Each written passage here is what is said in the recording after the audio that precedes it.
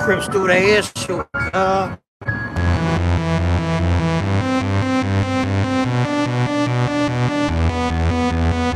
Hey man, this is definitely a crazy situation, man. We gotta get into this situation with C-Mac. Basically, you know, like the dude that's been blowing up on the internet and stuff, who's like a famous crip in LA that basically got interviewed by No Jumper, Channel 5, all that, man.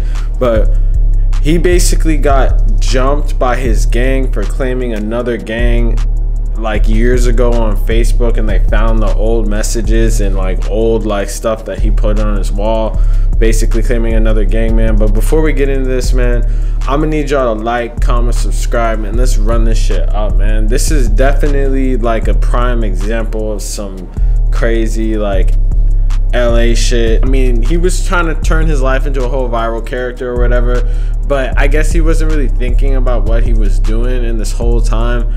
I seen like one video where people were reacting to this is like a Milk 74 video and he was reacting to um Blueface actually dissing C-Mac saying that he was claiming a different gang like earlier this week. So I think this has something to do with this. But I guess he was claiming a one gang uh like most recently. And then uh that was like I think 55th Street like or something like that. I'm not 100% sure but i he i remember he was like claiming a whole nother gang and stuff. Like you can see in like all the videos with like channel 5 and no jumper this man is clearly like says it.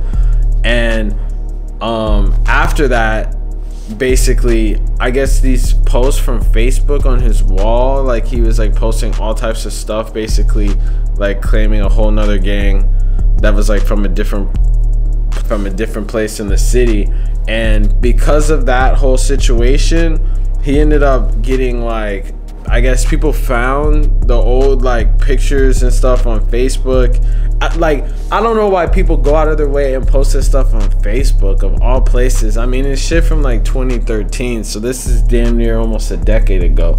But i mean i guess in the eyes of like the people that are i guess his current like gang that he's in, they seen this and then they disciplined him, which is basically, you know, beating the shit out of someone. And I don't know why after getting DP'd, you're gonna like go straight on fucking like like Instagram and show your face all messed up, man. It's it's kind of like I don't know what exactly he was going through that made him decide to do this. He's not looking his best. I don't know if this is gonna help his like uh whatever the fuck he got going on.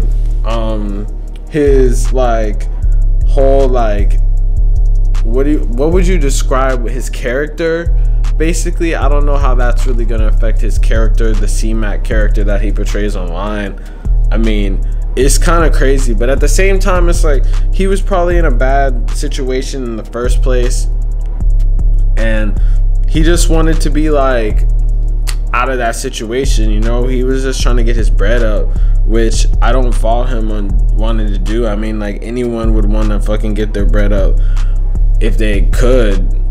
Even if it is some viral shit it's probably better than jail or dead which is kind of like probably what he was gonna end up doing if he didn't. But you know like i just feel like this is the one thing that happens like you always get caught up from shit that you posted in the past man. So you just gotta be remember that you were posting some crazy shit back in those facebook days man and you need to like calm down with this shit you know? You gotta be careful because this shit on facebook that shit will get you caught up. And this is one of those situations. It sucks and I don't know why he he goes straight to posting this on like Instagram out of all places. Maybe he's like off the old English pretty heavy or some shit, man. But hey, let me know in the comments. You think that it was fair that he got his ass like beat basically, or it was all accident? he was young or some shit. I don't even know, man. Let me know, man. I I, I don't know which way this goes, heads or tails. But hey, real stay, stay shit. You already know what's going on. Like, comment, subscribe. Peace.